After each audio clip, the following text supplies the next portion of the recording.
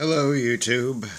Um, it's James here, and today I'm going to be showing you my Melbourne uh, W tram that I have. It's a tin plate model, and it's a wind-up one. And here it is. Now I am going to be uh, changing how this looks. I'm modeling it after the W2 uh, tram that's in uh, Dallas, Texas. I've actually ridden on it. It's car 369.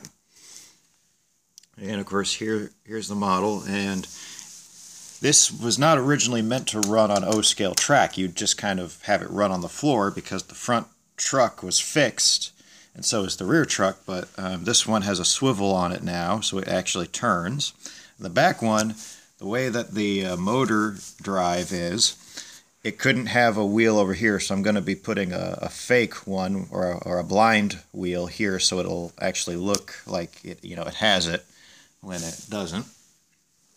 And of course, it's uh, very nicely, uh, well, not even really nicely made. It's it's nice to look at. It's not very nice to to hold. It's it's it's a cheap tin toy, you know, and uh, all that. And I've made some modifications to it, such as these little. Uh, it used to have um, pantographs. Of course, I changed these to look like uh, poles by bending them in, so that way they can actually, and they are sprung, they can go up and down, although it only runs in one direction, and I have fully wound it. There's the little key it comes with. So we're going to see how it goes. One, two, three, click the switch, and...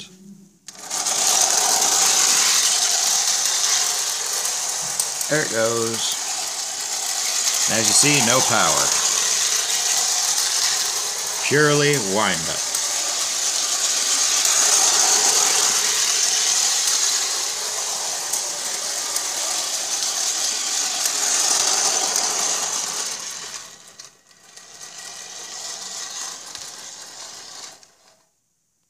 And that's about it as far as it'll uh, go. But yeah, the, the wheels it already came with were, well, they are O gauge specifically, they can fit on uh, three rail track, although it, it works a lot better on tin plate track than uh, this FasTrack. But I do like it, and I'll show you guys uh, what it'll look like once I am done with it. So yeah, thanks for watching, and I hope to see you guys uh, again very, very soon.